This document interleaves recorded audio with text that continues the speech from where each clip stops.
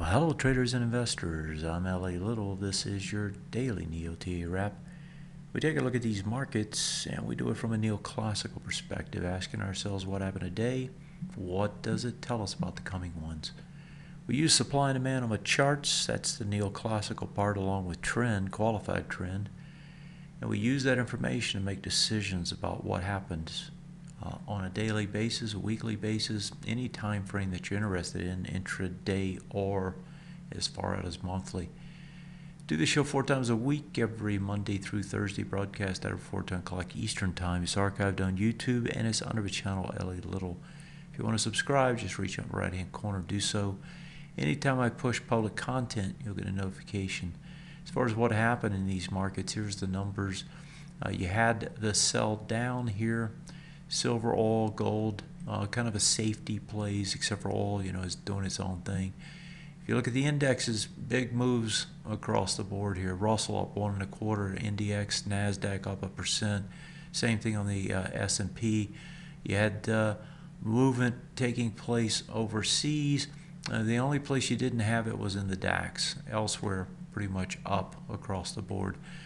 As far as what these markets are doing, Let's take a look at the charts, S&P 500. Now, we've had we, have had this big long range, right? And this range has been going on now for, in this case, uh, if you count them, it's about eight weeks. Usually towards six, seven, you know, six, seven number, you, you're going to get something happening somewhere. And if you look at this, what you have on the, you know, that weekly time frame, is you have a pretty clear-cut bottom laid out here, right?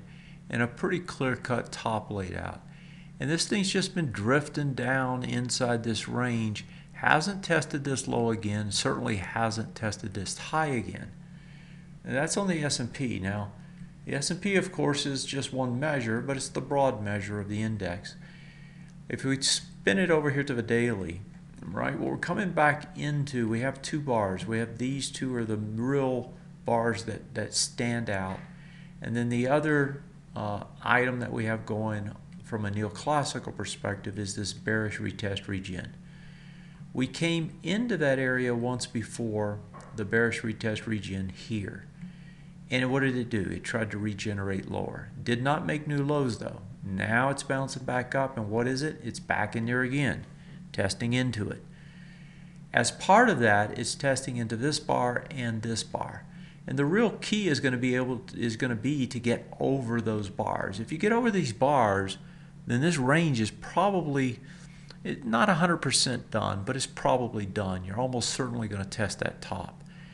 And so this range that's been in place, we're getting a second test. The second test has about a 40, I think it's about 46% that it's going to regenerate lower. So you're getting to the point now where the odds are starting to shift. And they're starting to shift to where you have a better chance of potentially getting higher. Now that's still, even if it gets over this, it's going to have to get over that, and that's going to be hard. At the same time, you've got other indexes doing other things, and we'll look at those in a second. So, you know, when I when I sum it all up, yeah, we got a bounce. We're up into the retest regen again. It's going to try to regenerate lower. We'll see if it can. Odds are increasing that it will be able to get higher, but there's still like a 50 50 chance almost, about 46%. So if it does get higher, then it's got these other bars to contend with. If it does regenerate lower, then you get into a different situation, and that is, is that you really want to see it come break this low. If it doesn't, right, then the next trip back up, the odds are going to shift even lower in terms of the ability to regenerate lower, you know, to push it down again. And matter of fact, if it can't break this, you probably want to start thinking about buying. That's the S&P. If we look at the uh, the Nasdaq, now the Nasdaq really actually let's go to the NDX next. The NDX is where the strength is, and one of the things that happened uh, not that long ago is the XLK finally got a reset, the sector. That had been bullish beyond belief, and as we know, that's where all the strength has been. Well, today they pushed this back over this breakdown, or actually to the breakdown bars high. 5439.58, 5443. So you just get over it. Question is, is can it can it run up there and test the top, and will it have the volume to get over it? You know, or, or will it the, the will the supply over um, will the supply be greater than the demand at that price point? First, you got to get there. So you got back over a key spot here. Can you hold it tomorrow? Can you get to the top? This is where the juice is. And with resets on the sectors, right now they have the ability to get it going again, although we do still have extensions uh, on the longer term time frames in terms of MTTF. And so we pull that over, right, we're seeing here 72% on this particular one. And it's the same elsewhere. It's not just there. Uh, if you look at the um, uh, the Nasdaq, the Nasdaq's pushing up, going back and try to test the tops. So the broad market hasn't been able to get over it. Russell. Now the Russell actually got some decent juice again today, but the Russell is captured inside this big bar still. The Russell has been the weakest of the group. And so that's still a range too. So the only place you got the real juice is the NDX. The NDX had broken higher once before, but it was a fake out compared to all the other indexes. In other words, it got higher, and nothing else went with it. Will that be the case this time? Time will tell. It's a little too early to, you know, to, to go buying into this market still. You need more evidence that it's going to continue higher. You don't have that yet. Right now, it's still a range trade, even with the juice that you saw today. And I know there's a lot of factors starting to you know factor into this thing to allow this to potentially go higher but you're just not there yet. And even if you do break higher and here's that uh, xlk i was talking about you went sideways you reset that mttf that mttf now you know was nosebleed before now it can get a reset and go bullish again. Problem is is that these others are still extended so even as you push higher here you're still you know, from a longer term perspective on the weekly basis, you're still pretty stretched. And if I pull the weekly chart over, you can see why. I mean, this thing has been just, you know, unanimously bullish uh, almost this entire chart. And so the fact that you're getting a rest is what's needed, but that rest probably is going to take longer, right? It's probably going to take longer. If you just go back to this big push here, then you got a rest could it get higher? It tried and tried and tried, but it still couldn't get over it, right? Traded back down to the bottom and then eventually got the move. And so, you know, when you look at this, you're just in the early stages of this kind of arrest that's taking place.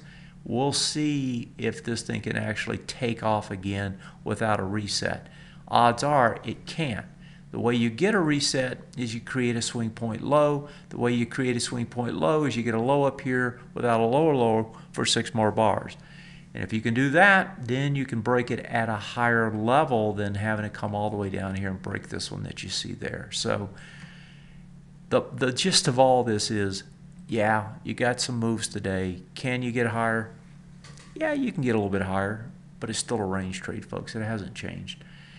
Let's uh, let's take a look at the world markets because you got the French election coming up, and we've had over the last year now we've had two big events that took place. Both of those events ended up being buys, and they were sells into the news or on the news, but then they immediately came out and they bought them. Well, in the French market, in the CACs you actually have some decent juice coming in today with the election three days away. What they're telling you here is they believe, and um, we did get the under over yesterday, and it was lighter volume. I didn't have volumes yesterday to look at. We did get the big juice back up to the top of that bar. Now, it didn't have quite as much volume. It got right to the top of it, and I think it held under it 50, 80, and yeah, just underneath it. So you test into it, you can't get over. This one's probably trapped into the election, but if you look at this on a weekly basis, this has had a good run. And if you pull over to look at these, what you're going to find is on a short-term basis, this thing is extended, but not on the long, on the intermediate term. So pulling up that uh, daily chart again, what it says is that you want to reset a swing point low. Well, how do you do that? Well, you got to come break one of these lows that are here. And so those were they were getting close, but they wouldn't let them do it. They pop it back up. I'm suspicious of the way this is setting up. It looks to me like you're going to get some sell the news again and then potentially set up the buy after that. And so that's the way that one looks. Folks, there's a big range. These ranges, you know, they can move 1 2% and still be in the range. And today you got a nice big strong move. Yesterday you had a bleed all day long. Today you get the big push back the other way. Is this thing going to carry, make new highs, and actually take off and start a new leg? Odds don't favor that. Can it test into the top of the range? Sure, it can. And that's kind of what we're seeing happening here. It's getting up, it's trying to test in the top part of the range. Breaking out of that range will be another story. Uh, I think it's way too early to even think about that. I think the whole question is, is can it even get to the top of this range? Uh, and there's there's really two key areas. The, the main one is here. The other one is the bearish retest region. If you can get over this, you're probably going to get stopped by that on the first attempt. Uh, but these are the things you should be looking at. See if the NDX can get over and stay over the tops. Uh, that would be another thing that could drive this, right? Because the tech sector is what's driving this market. That's it for tonight. Have yourself a great one. I'll see you next time. Good night.